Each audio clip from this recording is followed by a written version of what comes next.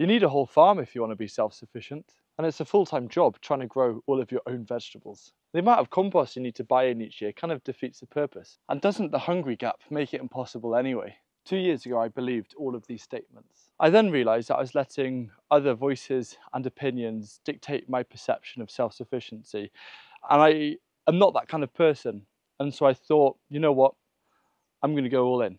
I'm going to actually see if these statements are true or if there's actually an approachable way in the modern day for people to be self-sufficient without needing a farm.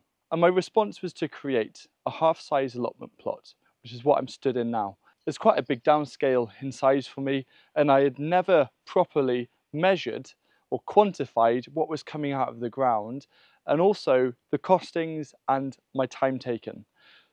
And I'm putting all of those things together to share with you the results and to put forward a case that yes, it is possible to be self-sufficient. This video is giving you the full breakdown. You don't need to go all out in the first year. You can start small and gradually build up. Self-sufficiency is a long-term goal. It's a little bit silly trying to judge whether it's a success or not based on one growing season, but I thought to push the boundaries and see what happens. And uh, I'll let the results speak for themselves. The first results to look at, which I have shared, but just a bit of a recap, is how much food was grown and how that translated to per unit of growing space. And so the first season harvest from this garden was 586 kilos. Now my initial goals for this garden was a kilo a day split between two people, which is six portions or six servings of vegetables for two adults every day of the year. But it turns out that this final figure is just over the total needed for four adults to have five servings of vegetables every single day of the year. Now the tricky thing is, how do you put a price on that? Because we all know that homegrown food, it, it's such high quality, we're eating it seasonally, and how do we put a price to that in comparison to say going to the shops? The food that you grow is priceless. I do think this is undervaluing the price, but in terms of the value from uh, a UK supermarket from Waitrose to buy the same equivalent of food that 586 kilos would cost just under £3,000. It's about £2,955 and 11 pence. So that is a first core figure that we need to keep in our minds. But what does this mean for those of you that have a smaller garden? Well, fortunately for you, I've worked out the costs. So per average metre of growing space, you can grow 100 portions of vegetables over a single growing season. That is a lot. So if you have a balcony or patio, that's a lot of food you can still grow. The value side is very interesting. It is just over 40 pounds per square meter of food. This is why things like succession planting is so important and also growing a diversity of crops. So you're, you're covering all of your herbs and your salads and your tomatoes. These are especially expensive to buy. Now I've read more than my fair share of forums discussing self-sufficiency. Is it possible? And one of the things that, that struck me is that everyone keeps forgetting that the, there is a a value to the compost that you're producing. It is a yield, yes, it's not something that you can eat, but the more that you can make, the more money you can save.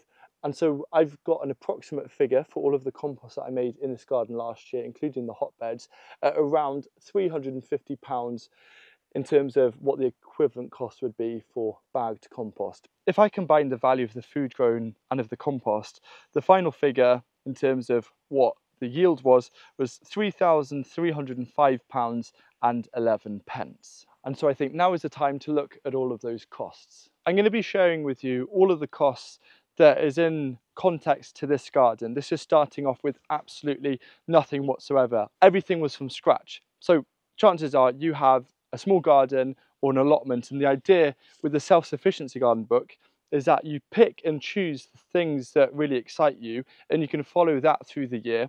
And over time, as you start to track your savings, you can then grow as you want. Now, the cost of establishing this garden using raised beds with sides, you don't need to use raised beds with sides, by the way. I just did it because it's easier for photography, but that, that's a big cost saver. But also all of the wood, all of the tools, all of the compost, um, the polytunnel, seeds, the perennial plants and the IBC water tank, everything put together cost £4,100. And so that, that is a lot of money, but that was trying to create the highest quality setup in one go to hit the ground running for the book. I've worked out that there are many ways where you can save money, like reducing the size of beds and getting a cheaper version of a polytunnel and being more frugal with sourcing things, for example, wood for making hotbeds.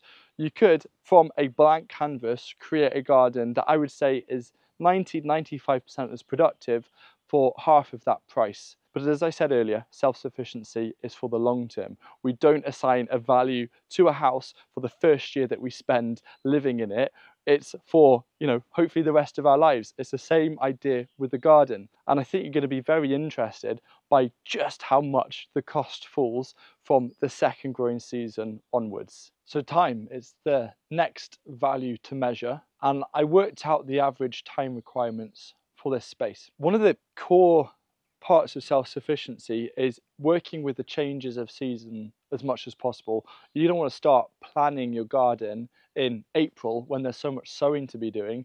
And I worked out on average, excluding the time taken to harvest all of the food, which I don't think we should even dare put a price to the time of the joy of harvesting your own food. But when you take that away, I would say on average, per week, this garden needs about four hours of work.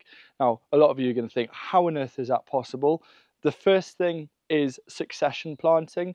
I did a whole video about this, but the idea is that you create a plan at the start of the year and then every month I just looked at the plan and I did what the plan told me to do and that saved me a huge amount of time. If there were two of you working on a garden like this, you could come for either a morning or an afternoon once a weekend and pop in every now and then after a day of work and keep on top of it and grow a huge amount of food. And if you really wanted to, you could put a price to your time in terms of this garden. So for me, on average, every hour I invested towards the garden, be it planning, gathering resources, to planting things, it equated in around a value of £15 an hour of both food and compost that I produced. If it was just food, it would be around £14 an hour, compost just over £15 an hour. And as a salary, doing something that you enjoy eating nutritious, priceless food, I think that is a very good case. Of course, the first year, you're going to have the costs. Just think of costs as being like